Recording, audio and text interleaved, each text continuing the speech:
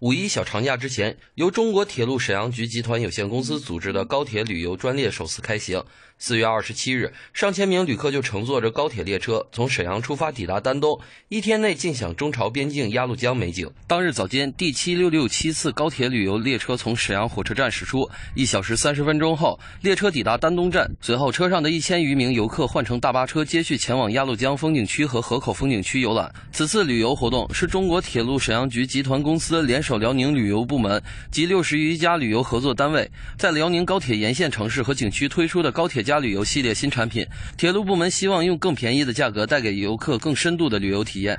打个比方，您比方说，这个沈阳到丹东间，我们二等座的动车票价呢是七十块钱。那么现在我们打折最低幅度六点五折的时候呢，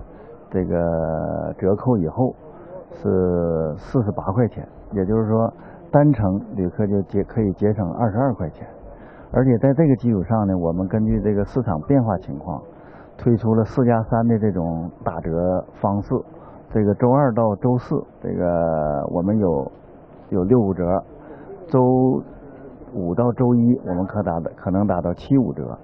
据了解，此次沈阳铁路部门精心设计了八条旅游线路，除了二十七日开行至丹东中朝边境游列车外，还推出了本溪水洞一日游、庄河冰峪沟一日游、通辽塔敏查干沙漠、大清沟一日游、承德避暑山庄、皇家寺庙、古水北镇二日游等线路，旨在为游客提供多元化的旅游产品。这次高铁家旅游专列一共设计了是八条线，所以说我们利用好铁路局的呃车站打折优惠政策啊，开行的这趟。东北首趟高铁旅游专列，如果自由游客自由行去丹东去凤山河口景区，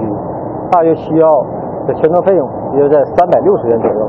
而乘坐我们高铁旅游专列呢，才需要一百八十八元。铁路部门表示，随着2018年底京哈高铁成沈段和新通高铁的开通运营，辽宁境内高铁运营里程达到两千零三十五公里，位居全国前列，覆盖辽宁省十三个地级以上城市和地区，开行高铁列车达一百八十一对，发达完善的高速铁路网将进一步助推辽宁旅游产业健康发展。